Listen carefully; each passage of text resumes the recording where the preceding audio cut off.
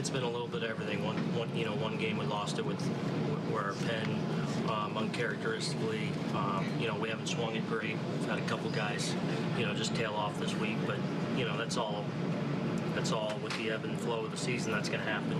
Um, you know, we just gotta we just got to pick it up a little bit and, and go out tomorrow and, and try and make it happen. And you know, we've been able to grab a lead here these first two games, and then haven't been able to add on. That's where we, we gotta we, gotta be able to tack on. And you know, this is a team when they get a lead, um, they got a pretty good pen to shut you down. Why do you think the bats have gone quiet after the initial strike in the last two days?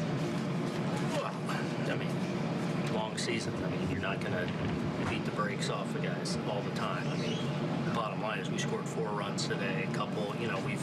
It's not like we've gone silent.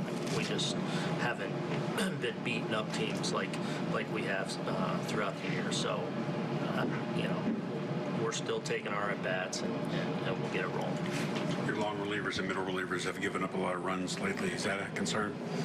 Yeah, you know, I mean, sometimes you know those, you know, that fifth, sixth, seventh inning right now, you know, especially when we're in a game, you know, we got to be able to, we got to be able to get some key outs in those in those spots.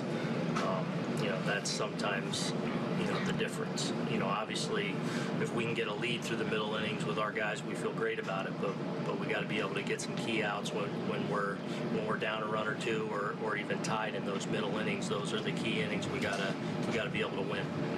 It's nice seeing Didi kind of hit the ground running. Yeah, it really is. I mean, he looks great up there, I think. Um, you can tell he's real comfortable, made a really good play in the field today as well. So, um, you know, I, I, I never worry about Didi and his mindset, whether he's scuffling, whether he's doing well. But, but that said, it's always nice to, when, when you've been out, out with the injury, obviously, to, to come right back in and swing the bat well is, um, is always nice.